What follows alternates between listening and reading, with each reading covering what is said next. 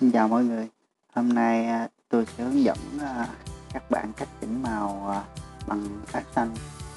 à, Tôi sẽ à, để đường link và chia, chia sẻ cái xanh này cho các bạn.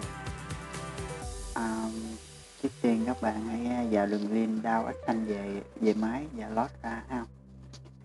Khi đao về máy xong các bạn vào à, Windows à, chọn phần action action nó sẽ ra cái bảng action bên đây. Sau đó ờ, các bạn chọn lót action ra. Đây nó có phần lót action ra. À, giờ mình lót cái action vừa vừa đau về.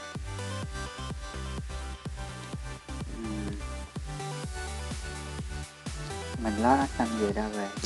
Các bạn chú ý là mình lót action về mình à, có thể là mình sẽ à, đổi tên hoặc là đổi tính, tính tắt để dễ sử dụng. Ở đây à, ở đây tôi sẽ à, hướng dẫn các bạn cách đổi đổi phím tắt. Các bạn chỉ cần click duplicate vô cái à, cái phần à, action này nó sẽ cho các bạn đổi phím tắt. Click chuột vô. Ở đây à, mình có quyền chọn à, phím tắt mà mình à, muốn đổi. Ví dụ như ở đây tôi chọn chip F9 màu đỏ chẳng hạn. Ok.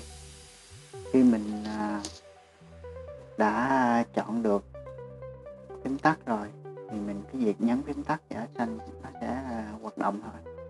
Đây là cái file à, cái file chụp đầy đủ sáng nha. Các bạn chú ý file đầy đủ sáng thì nó sẽ chạy cái xanh này ra rất là đẹp. À, ở đây mình sẽ có chọn file chụp ở ngoài trời. À, mình à, nhấn cái xanh này đó là shift F9 nha. Nhấn shift F9 đó. đây các bạn thấy ra màu rất là đẹp. Để mình chụp. Đó màu hồng màu rất là đẹp.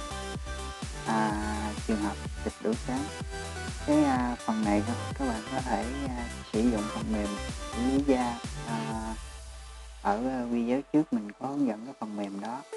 Đây phần mềm đó nếu em mê xử lý da nó sẽ đẹp hơn. Đây.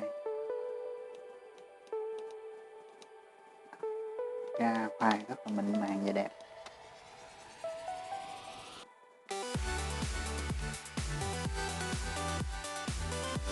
Rồi đây là file thứ nhất. Trường hợp thứ hai là file à, hình đám hình à, hình đám tiệp. Mình sử dụng nó cũng rất là đẹp. Mình chỉ cần nhấn shift F9 thôi. Đó ra rất là đẹp. Rất là trong đẹp. Trường hợp như uh, những cái uh, hốc tối này mình cần nâng lên mình chỉ cần dùng chọn một một dùng tối của nó thôi. Đây, ví dụ như mình chọn dùng tối nhất. Sau đó mình chọn row hoặc là similar, đó, similar nó sẽ tự chọn những cái dùng tối tương tự. Sau đó mình sẽ chọn fader ở đây tôi chọn fader 8 mình sẽ nâng sáng nhẹ lên. Đó. Vậy là mình sẽ đẹp, đều và đẹp. Đó ok file này rất là ok. À, đối với hình hình chụp đầy đủ sáng ha. Và hình ở, ở ngoài trời. Thì chúng ta dùng action này và kết hợp với xử lý uh, phần mềm xử lý da nếu mê sẽ rất là, ra hình rất là đẹp. Rồi trường hợp kế tiếp là cái file này uh, chụp thiếu sáng video chụp thiếu sáng mình sử dụng quá xanh đó sẽ không có được đẹp. Nó sẽ bị dư hoặc thiếu những mặt khác nhau. Ở đây à, trường hợp này file này rất là tối. Vì vậy trước khi mình sử dụng quá xanh đó mình sẽ nâng sáng nâng sáng cái file này lên. Chọn control M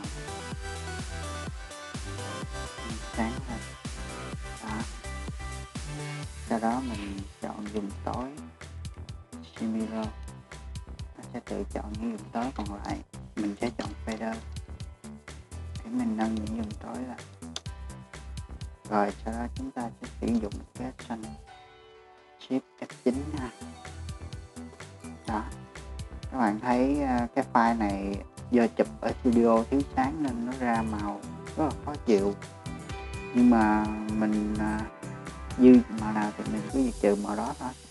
Ở đây à, mình cảm thấy cái màu màu vàng cam nhiều quá mình sẽ giảm màu vàng cam xuống. Mình sẽ cộng xanh vào nó sẽ à, giảm màu vàng cam thôi. À. ok. Rồi chúng ta dùng phần mềm xử lý da sẽ cho điệu đều lại là ok đây. Còn những dùng tối còn lại chúng ta cứ việc chọn. Đây và nâng sáng lên thật, rất là đơn giản. Đây tôi sẽ chụp hình lại cho các bạn ok.